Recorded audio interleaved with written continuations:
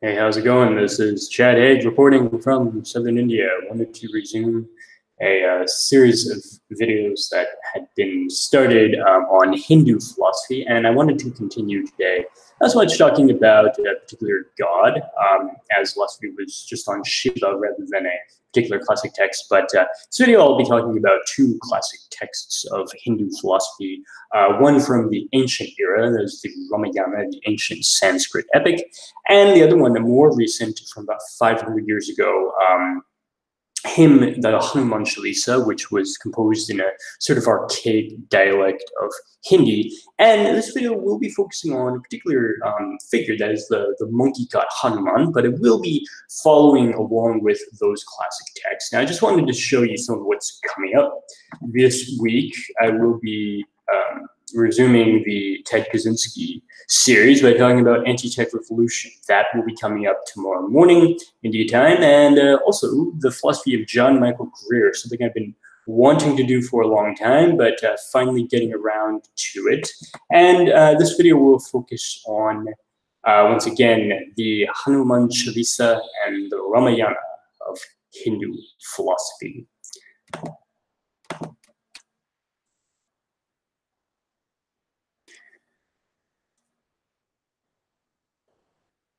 So once again, Hanuman is the monkey god, which gives him a somewhat ambiguous um, position with regard to the gods and with regard to humans. And a lot of the interesting uh, relation that he will have to, say, the Ramayana or the Mahabharata is um, these are stories which largely deal with uh, the realm of human problems, and yet Hanuman as a monkey is going to be caught up in, say, the battle uh, within the family in Mahabharata. In, in some level, he's involved there. And he's going to be involved with the drama of um, a, uh, a, a, wife unjustly kidnapped and taken to a foreign land, which uh, I kind of like the story of Helen of Troy in um, a Hindu context in the Ramayana. And yet, as somebody who is also a monkey, he's going to teach us, ironically enough, something about us as humans.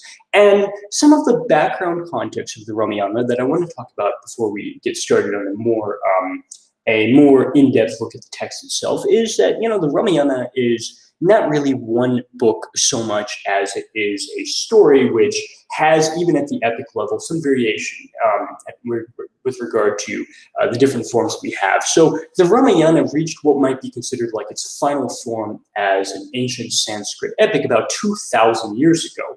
And in this era of ancient Sanskrit epics of, say, the Ramayana and the Mahabharata, and I know that I'm not pronouncing these words exactly right, sorry, as a, a non-Sanskrit speaker, you can go to uh, Flowers Your Love Songs channel or have Shivam, who lives there in Delhi, give you the proper pronunciation as a native speaker of Hindi. But I will still do my best to try to talk about these concepts, even with a very imperfect pronunciation. So the era of ancient Sanskrit epics um, gives you, it, it coincides with this birth of Puranic Hinduism.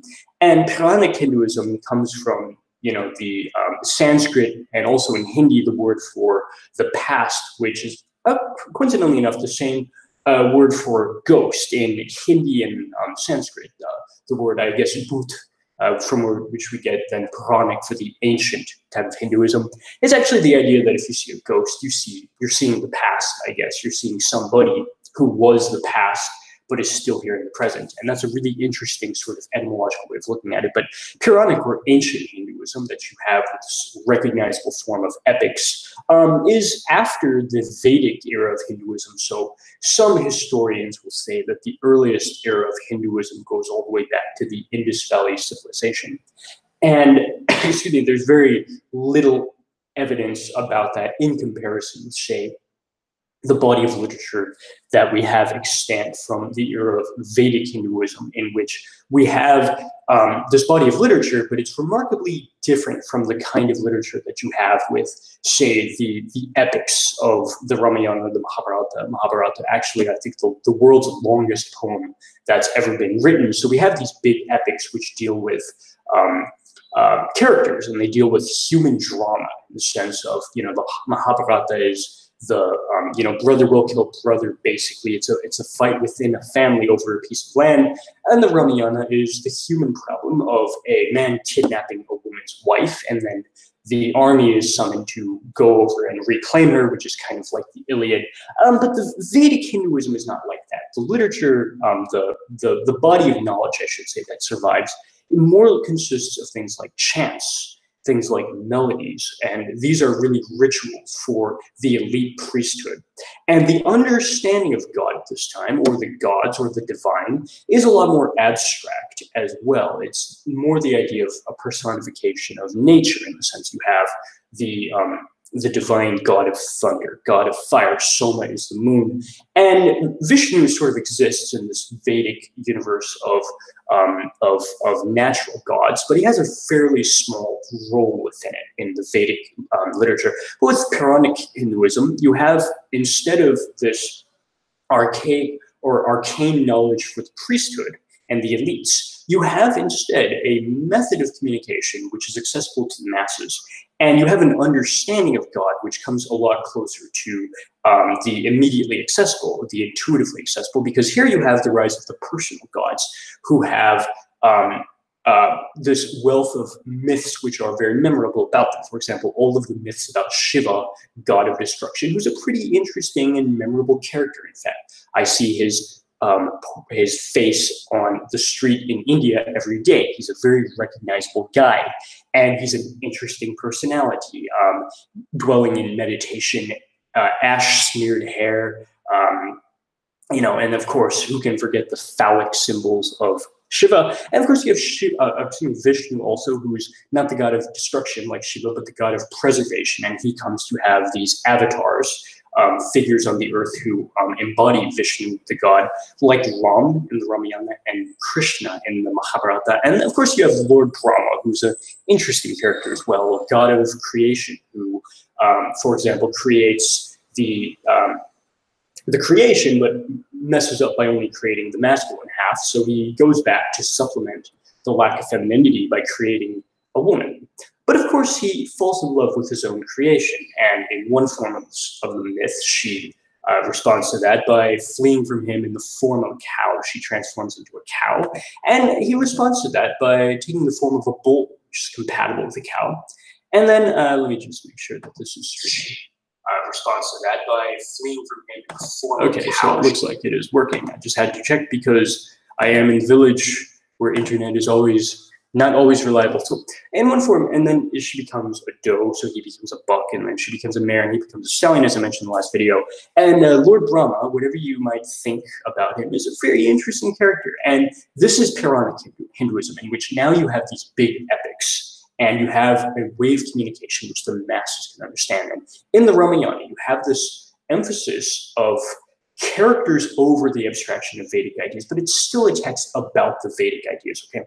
And in a lot of ways, it's a text about how different characters will respond to having this Vedic knowledge, which was once considered exclusive. It was, it was once considered this um, esoteric knowledge of the priesthood, right? And Dharma is going to be a concept which doesn't have one single translation into English, but one context of Dharma in the Ramayana is something like the Western concept of the ethics. And whereas for, say, Aristotle, ethics means embodying the virtues of a human being in the sense that uh, a knife has certain virtues. A knife is a good knife, um, not a moral knife necessarily, but it's a good knife if it's sharp, if it fits in your hand, if it can chop vegetables, whatever. And humans have those virtues too. And um, in the Ramayana, Dharma is a little more like doing your social role. And it means doing it even when injustice happens to you. For example, Ram is unjustly banished from his own kingdom, um, but he accepts it rather than becomes bitter about it. And interesting thing is that you might ordinarily think, as the ancient Greeks would, that um, the uh, the humans are necessarily above the animals because the ancient Greek concept is that animals lack logos and humans are the animal with logos. So there's just kind of this categorical um, elevation of humans above animals. But in the Ramayana, it's more complicated than that because um, Ravana, the villain, is obviously not a monkey himself as Hanuman is. And yet, as a person, he has a choice either to rise up to an ethical standard above animals by using this Vedic knowledge to realize that the purpose is to transcend your own spiritual defects, which is what Ram understands. Um, but Ravana has the other choice to abuse the Vedic knowledge in order to try to manipulate others for selfish gain and therefore to use it as a means to get power. And this shows that um, the monkey is not the lowest on the chain of ethics. It's actually that um, if you understand ethics to be consciousness of other people's needs, um, then the kind of territoriality which humans exhibit, um, when they ignore that uh, consciousness of other people's needs, actually makes us even worse than monkeys. And that's going to be a big theme here.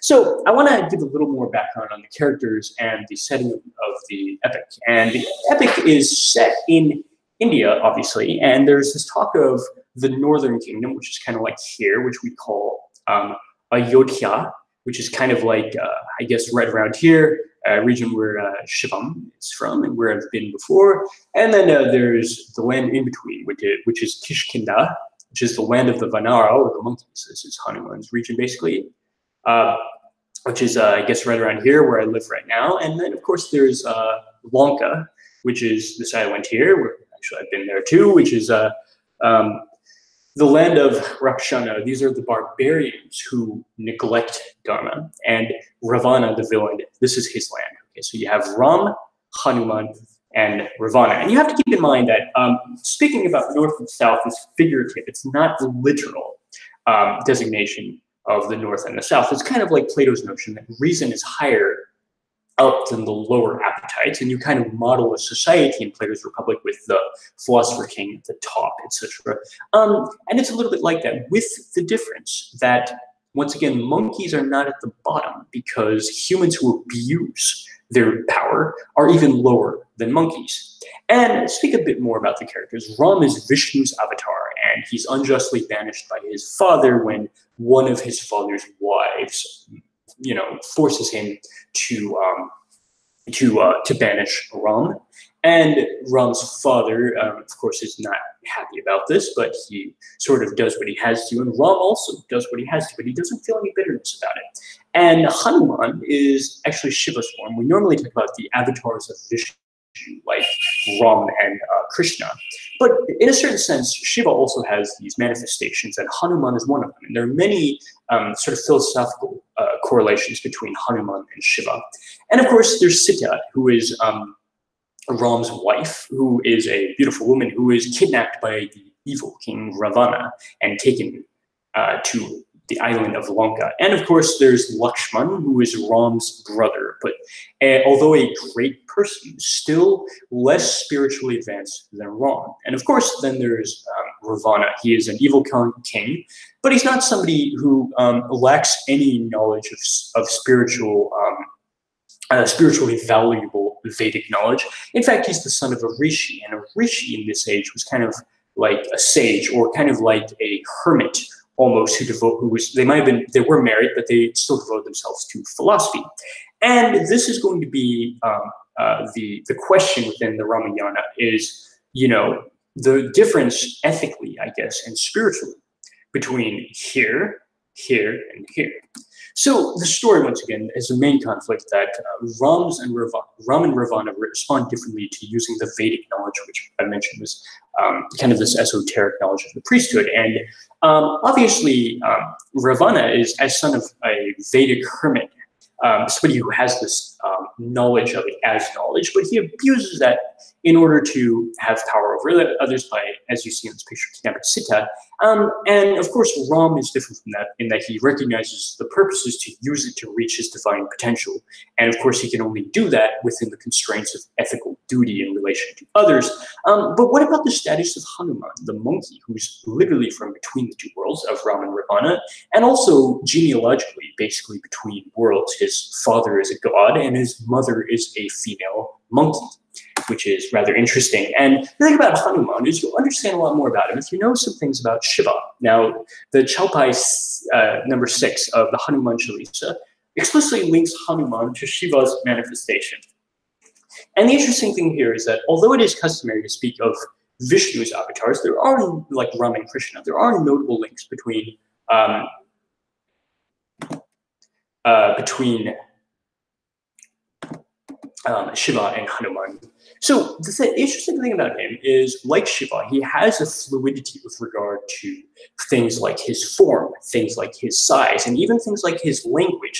And Shiva largely embodies this fluidity with regard to form, as the spiritual principle as God of destruction as being not limited by limits, not limited by one particular form, etc. Because Shiva, etymologically speaking, literally means no thing. So you've misunderstood him if you think that he is a thing with a determinate set of limits. Um, and Hanuman uh, demonstrates something like that, but he always um, exercises this fluidity in the narrative in the ethical context of trying to um, be conscious of other people's needs. For example, Hanuman demonstrates evidence of Vedic knowledge in the language of Sanskrit, which is a kind of priestly language. Um, it's not quite a language that is only for scholars, as some people might think, in the sense that there is like an everyday context. Flowers would also mention that, like um, uh, practicing in Hindu ritual on a, on a daily basis, you you have Sanskrit um,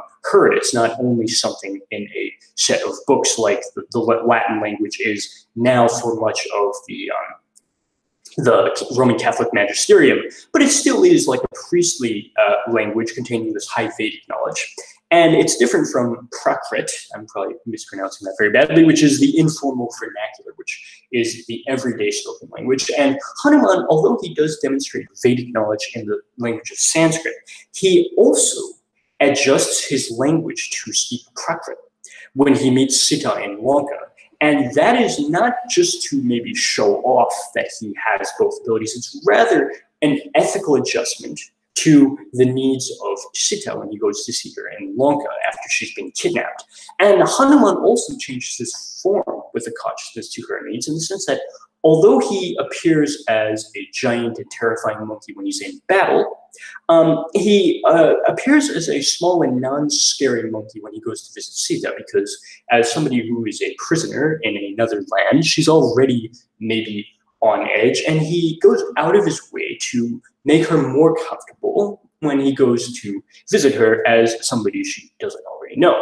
And in Chaupai 8 of Hanuman Chalisa, his mother also tells him stories of his own adventures with Ram when he's a child, which might strike some people as strange in the sense that how could his mother tell him the story of the Ramayana when he's actually going to live it later on, kind of like um, Don Quixote in the later part of part two Don Quixote is buying a copy of Don Quixote, which is being printed and you know remarking like hmm, I don't know if I remember that part, you know, and it's interesting like how could Don Quixote read Don Quixote when we're reading the book, and this problem of uh, recursion, which you escape if you no longer posit time as a straight line, and the Nietzschean concept of the eternal return actually does have something of a parallel in Hinduism, in which there is this circularity with regard to time and with regard to events. And uh, um, Hanuman was able to listen to his own, um, listen to the story that he's a part of, but he's not doing it necessarily out of interest about himself. He's listening to it because he's interested in Ram's story. He's interested later on in Krishna's story. He's interested in um, in Sita's story. And this is another way that Hindus understand ethics in the concept of dharma is being interested in other people's stories because you're interested in their needs. And the reason Lord Brahma is not worshipped, you won't find um, temples of Lord Brahma, is because he's a creator, but he's not somebody who listens to other people's stories. And that is the difference with Hanuman as coming from Shiva. And of course, Hanuman also has a type of formal fluid, fluidity, which he uses in the context of battle in order to win. So Hanuman famously battles several female demons who guard the island of Lanka on his way there to deliver the message to Sita. And one of these is named Simhika, and she is a kind of a sea monster, which he defeats by changing his size. First, he's small enough to be swallowed by the sea monster, and then he becomes large enough to just break out of her digestive system. Then there's another demon named Surasa, and for her, he expands her jaw when she um, uh, captures him in her mouth. and that forces her to widen her jaw. But then he drops down to the size of a bumblebee and he flies away. And the thing is, he also has a, formal fluidity not just with regard to how big he is, but also with regard to what shape he holds. And although he is, in a certain sense, the monkey, um, saying he is a monkey in the sense that he'd be limited to it is not exactly true because he's oftentimes portrayed with 10 heads, one of them a horse, one a lion, one an eagle. And like Shiva, he goes beyond limitation and fixed form, but he always does it for ethical reasons. And of course, the most famous portrayal of Hanuman changing his um, form is the story of the magic herb. So with the help of many monkeys, the story goes that Hanuman built a bridge to Lanka to try to save Sita. But Ram's brother Lakshman in battle was shot by Ravana's son and shot with a poison arrow. So let me just make sure that this is still streaming to Lanka to try to save Sita. But Ram Okay, so looks like we're good. So um, he, uh, uh, Lakshman, Ram's brother, gets shot by um, a poisonous arrow um, by Ravana's son. So there's an antidote which grows on a distant mountain uh, in the form of an herb. And Hanuman flies to this remote mountain to try to fetch the herb to uh, get it to him in time. But when he gets there, he has to unfortunately fight uh, Kalanemi, and he wastes a lot of time fighting. And by the time the fight is over, it's actually too dark to just find the herb. So he decides rather than wait till the morning, he can just expand in size, grab the whole mountain, and just carry the mountain back to Lakshman. And this is one of the most famous temple images of Hanuman. The thing about myth is it's impossible really to maybe think about Hanuman in isolation as just a monkey. The way that he's um, he's uh, portrayed in temple is in events and contexts like this one. And another famous story of Hanuman, uh, kind of equivalent to the ancient Greek story of Icarus, is in Hanuman Chalisa Chaupai 18. We have the story of Hanuman mistaking the sun for a tasty piece of fruit. And he sees the sun, thinks it's a piece of fruit, flies up to eat it. But Indra, the god of the sky, um, notices this and hurls him back down to earth as punishment for his hubris. And Hanuman's jaw is disfigured in the process, and the disfigured jaw becomes a well-known feature, a little bit like Icarus, if you think about it. And in some versions of the story, in his journey to the sun, he treats the celestial bodies up there as toys. He's actually able to maybe move them around. And the thing you got to understand about Hindu understanding of astrology is that for them, the um, uh, the study of astrology is the study of this cosmic pattern of destiny. And Hanuman, as somebody who's able to change the location of those celestial bodies, is somebody who can therefore change destiny. And Ravana also is an astrologer who devoted a lot of time to try to understand this. And he wrote a treatise, um, they say, called the Ravana Samhita on astrology. But his uh, interest in astrology was to try to manipulate destiny for his own personal gain. Hanuman must not be understood to um, to do to be doing something like that. Um, he is rather just approaching the stars in order to to uh, to engage in play, to you know, kind of just um, have this attitude of playfulness rather than an attitude of domination. Therefore, Hanuman is kind of beyond the arbitrary human meanings in the same way that he's beyond the limitations of form and he's beyond the um, the layout of the stars that fix destiny. He's also beyond our own human meanings. Chaupai 19 of the Hanuman Chalisa recounts him placing Ram's ring in his mouth as he leapt over the sea. And you have to understand that in Hinduism, saliva is a contaminant that violates the purity laws. I know from living in India that there are these purity laws about whether somebody can or cannot enter a Hindu temple based on purity. And saliva is considered a contaminant. And Lakshman, in fact, refuses to eat berries that have been taste tested for poison by Shabari because they've been contaminated by saliva. And yet Ram, who's more sophisticated spiritually than Lakshman and more enlightened, has no hesitations about eating the same berries. And that is because Ram and Hanuman are both above the contingent meaning of human values, which are arbitrary. Yet Hanuman maybe goes even further by uh, maybe not placing just berries within his mouth, but he places Ram's precious ring in his mouth and his common sense view is, well, I needed to carry it someplace safe as I was going to the island of Lanka. And what this shows is the value of jewelry and the value of money in general, the value of gold is just as contrived as any cultural value like whether somebody can, you know, enter a temple based on saliva contamination. Therefore, the body in Hinduism has to be understood kind of differently than you might normally think. So in, in Hinduism, there's this concept that like animals have the one body, which is the physical body.